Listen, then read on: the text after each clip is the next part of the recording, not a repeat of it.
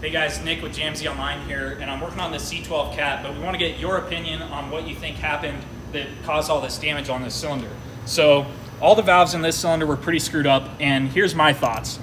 This exhaust valve broke off at the keeper groove, which allowed it to fall into the cylinder where it started getting beat by uh, the piston. So then the head of the valve broke off eventually, which then ended up screwing up this exhaust valve as well as causing a little bit of damage to the intake valves. Um, but what that doesn't explain is when we took this intake valve out, the seat counter counterbore below the seat is all screwed up. The bottom of it's screwed up and it's a little bit too big.